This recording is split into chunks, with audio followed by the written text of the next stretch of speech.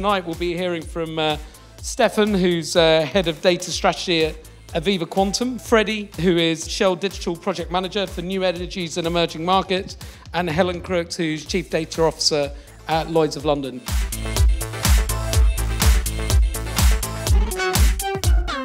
The quantum team that sits here in the garage um, over 18 months is now 35 strong. Across that mix, we've got 12 different nationalities. When we arrived as a data science team, um, the analogy we used it was a bit like a school disco. So we were all stood on that side, the data science team. They were stood over there. And over the last 18 months, we've kind of had to come together and we're not quite there yet, but we've definitely moved into the middle of the floor.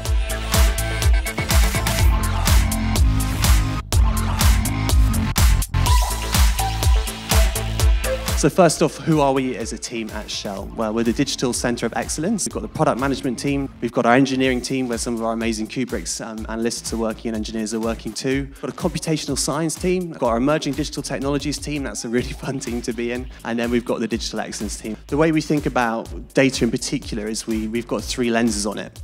The first lens is how can we improve or optimize a current process? The second lens is really how do we generate a new value stream, a new additional piece of revenue, additional piece of margin, an OPEX saving. And then the third, quite understandably, is how do we create new commercial models using our data.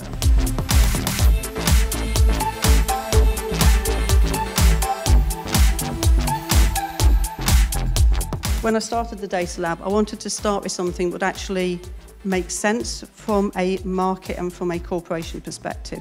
And as we go more global, as the landscape becomes more complex, we have more and more regulatory information to process and we have more difficult and complex regulatory questions to actually answer. The thing for me is really crucial is the people. We have used Kubrick to develop out our, uh, our data science uh, capability and we're looking and working with Kubrick on the data governance models as well. And it's so important to actually get new people and new thought processes into, our, into the company.